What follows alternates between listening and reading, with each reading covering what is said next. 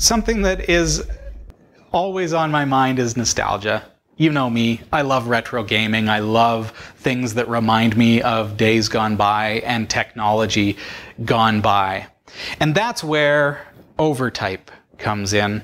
This is a website service that you can try out absolutely free at uniqcode.com slash typewriter. Let's get started. I'm just going to hit start here and check out what we can do. Ready to start typing?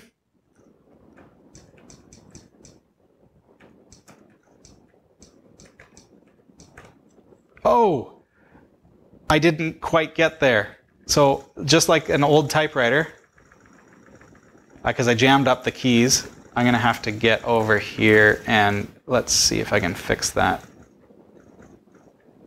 Uh, uh, uh. Perfect.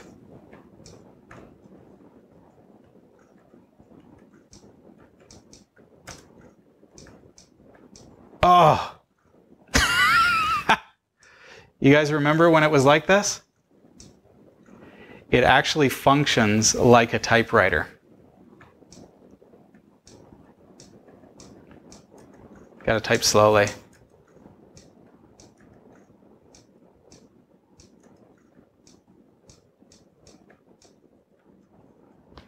You can save your work. You can print it, whatever you want to do. It really has that genuine look to it, and you can mess with settings, and it will actually change the way that it functions.